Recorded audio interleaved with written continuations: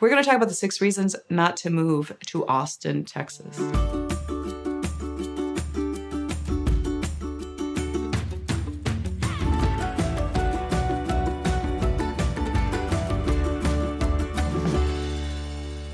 Mentioned, we are going to talk about the top six reasons not to move to Austin, Texas. As a local and a realtor, I'm constantly hearing about why people love Austin and why people are relocating here. But I think it's important to go over like the not so super duper fun facts and the reality of it and why people don't like Austin. Make sure to watch this video all the way to the end because the last point that I have for you is, I think, pretty serious and something that people just don't talk about. And I wanna make sure to be as real with you as possible always. So watch till the end. First reason not to move to Austin is our traffic. Now, compared to California or New York or like, I don't know, Mexico, our traffic isn't as bad, but we do have a lot and it continues to grow. Sometimes rush hour starts as early as like 2.30 or 3 o'clock in the afternoon and it'll go to like 7 or 8 o'clock at night. Not only is there a lot of traffic, but I feel like people here drive like I said that. I I mean, now you know. Now you know the truth.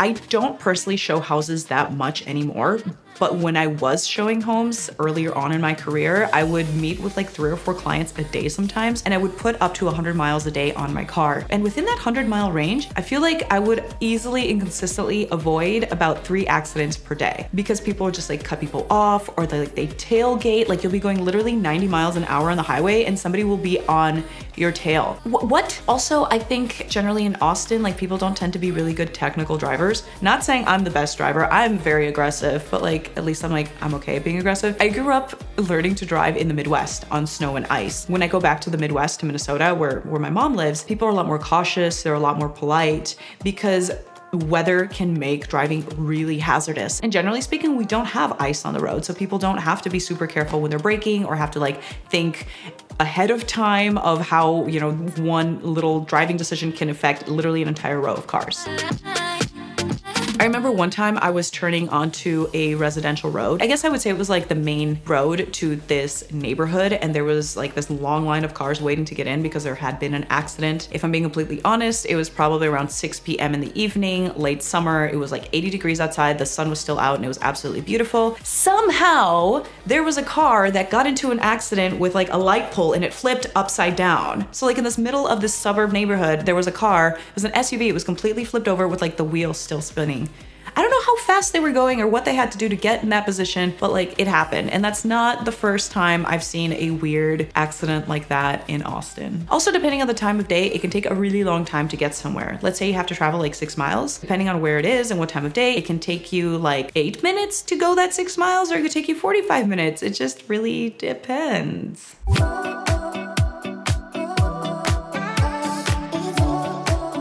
The second reason not to move to Austin is that it gets hot as here. It is so hot. It can get up to like 100, 105. And then if you look at like the weather index, it'll say 105 feels like 115 it's ridiculous. It literally sometimes gets to the point where you just like open the front door and you're just like attacked by a waft of really hot air. It feels like you open an oven that's baking cookies, except there's no cookie smell and there's no cookies. It's just really offensive, aggressive heat. And usually this heat will start probably from like July till August, September, October, sometimes till like mid-October. I will say October till like spring of the next year, it's it's really beautiful and it's really comfortable. People really love it. But when it's hot, it's really awful hot and our ACs are constantly running.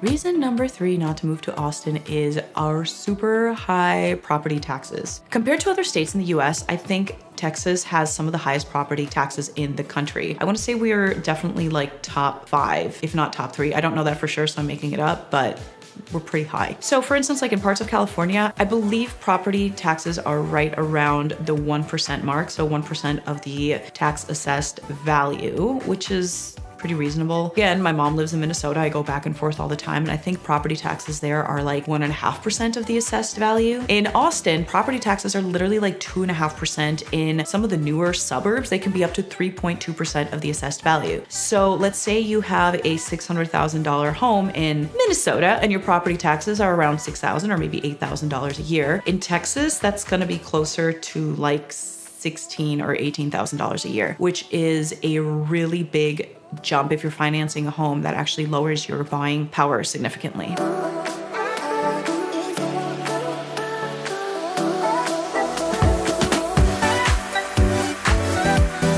Four piggybacks on our previous point about property taxes is our very competitive housing market. A lot of times I get clients that come here from out of state. I work with tons of folks from California and a lot of times they're like, oh, I can get a home that's like the same price in California, if not less expensive. But because our housing market is so competitive, a lot of times these homes will actually end up selling for significantly more than they are listed for. So let's say that you are shopping for a home that's listed at 1.2 million and there's like six offers on it, it's entirely possible that that home will sell for like 1.4, 1.5 million, which ends up being fairly comparable to prices in parts of California. I know that's not all of California, like in Beverly Hills, you could still expect to pay like 12 to 20 million dollars for a house, right? So a 1.5 million dollar house is like negligible. But still, we have a very, very competitive housing market. And I work really hard with my clients to get them prepared and educated so they know what to expect and they can have the tools in place so that we can win our our first or second offer. Typically, my clients don't make seven offers and lose them all. If they take the time to listen, do their homework, and we get prepared and take my advice,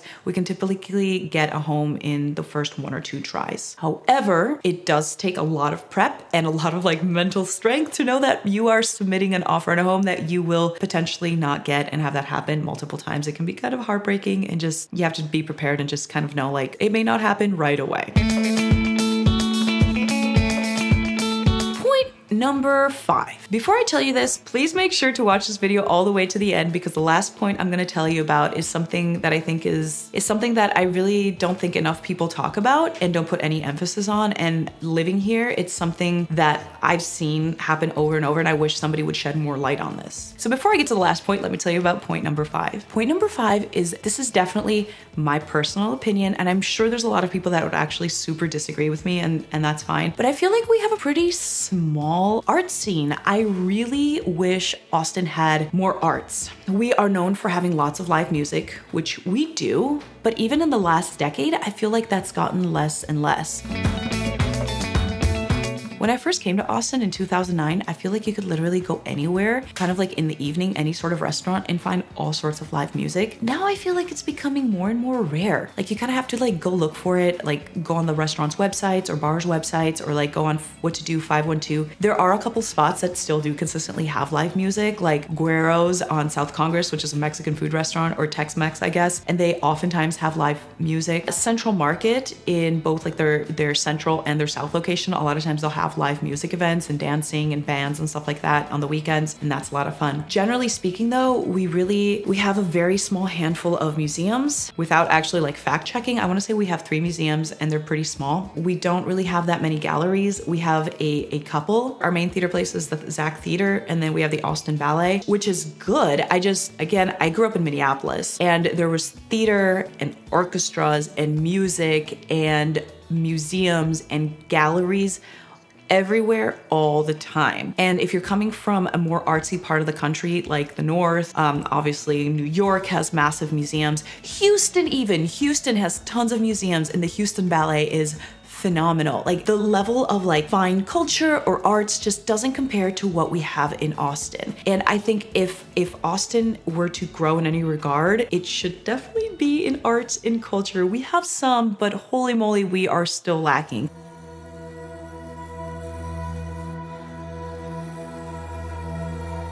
Number six, thank you for watching all the way to the end of this video. I know you've been wanting to hear what I have to say about this last point. The final big reason not to move to Austin is something that people just do not talk about enough. And that is the fact that we have dogs and cats and pets literally everywhere in Austin.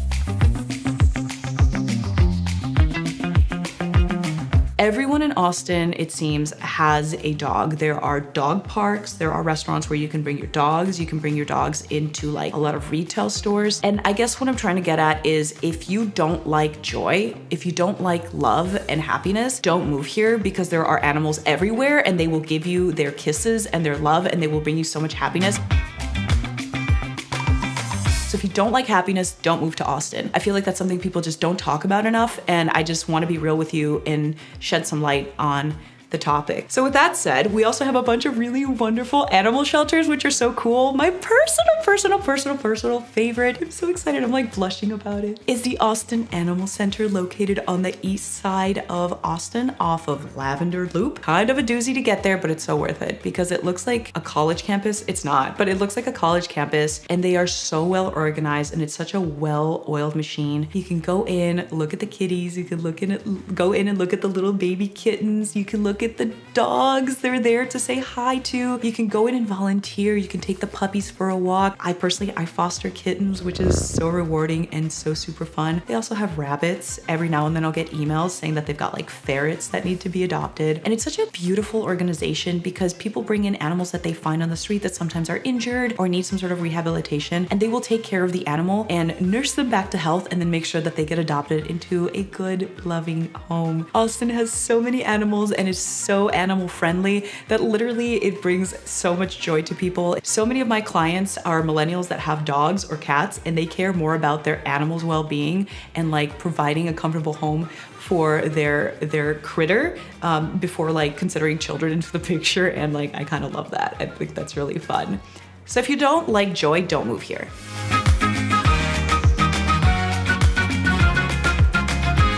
Anyway, those are my top reasons not to move to Austin. If you guys have comments or questions, please leave comments below. I really love hearing from you guys, and I'm always open to new video suggestions. Anyway, I'm Daphne Quay, your boss lady realtor, and that's that's all I got for you today. Till next time.